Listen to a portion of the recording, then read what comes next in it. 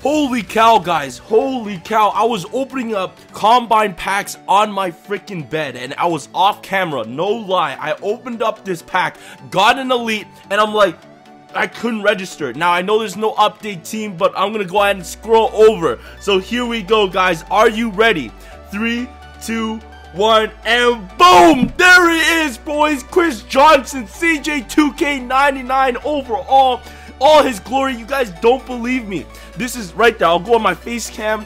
Uh, I'll even shut off my light so you guys can see this. I hope we can register this. Okay, I'll turn down my brightness. I'll turn down my brightness. Uh, does that make it better? Does that make it better?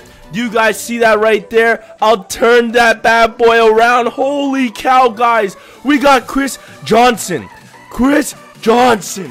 CJ2K with that insane stat boost and the speed and all that good stuff. 96 speed. Oh my goodness. Let's go ahead and go to the team and check out his stats. Let's open up one more combine pack because that is hype.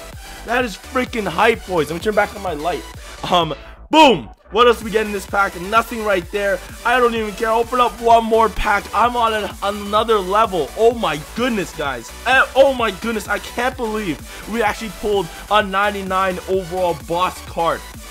Dude, there he is on the team. Look at those sexy stats with all the stat boosts on my team, guys. Oh my goodness. This is unbelievable. 99 speed, 99 strength. Agility is at 98, and so is his acceleration. His awareness goes to 99. His catch goes to 89. He still has really great stats on the other side, even though none of these are boosted. He has 96 carrying. Elusiveness is 97. Ball carrying vision is 97. 91 trucking. So that's actually really nice. He has 91 trucking. I don't think he's going to be be an aggressive back though, um, especially since his agility is at 98, spin moves at 98, and his juke moves at 97. So he's probably going to be one of those um, agility backs that do like those juke moves instead of plow people over.